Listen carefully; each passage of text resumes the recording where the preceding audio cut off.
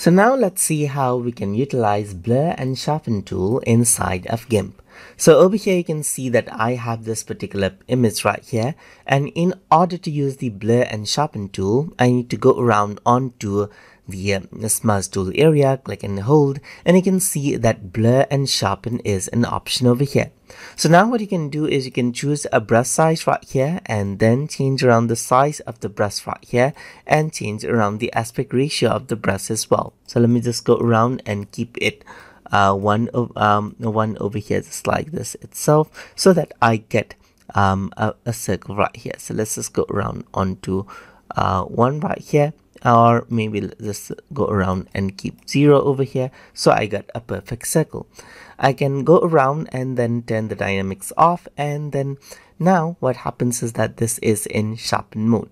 Let me just go around onto blur mode right here increase out the size a bit. So now let's say I want to blur out the part of these rocks right here. So I can simply click and drag around and you can see that that portion right here blurs out just like this as I click and drag.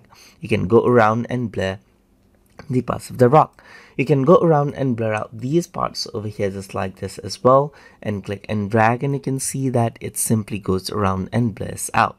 You can also go around and sharpen it right here. And once you go around and sharpen it now if I were to zoom in and click and drag it you can see that it sharpens out these areas right here just like this. As I click and drag around you can see that those pixels are much more sharper right here and you get the details more out of it. But don't overdo it as you can see that you, you can start getting artifacts right here and they may seem unnatural. So you can simply go around blur it out over here just like this as well you can change around the rate of the blur just like this as well, make it really, really subtle as you can see. Uh, and same goes for the sharpen as well. So you can go for shuttle sharpen right here, really increase out the rate right here and really make it sharp as you can see just like this as well.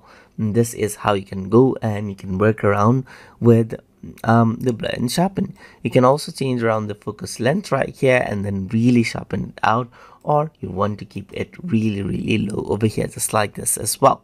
Similarly, if I were to go around onto blur, then you can see that you can change around the fade length over here and really get get them um, like faded high or low according to how you want right here. And that is how you can work around with the blur and sharpen tool inside of GIMP to blur and sharpen areas of the image uh, that you have open inside of GIMP.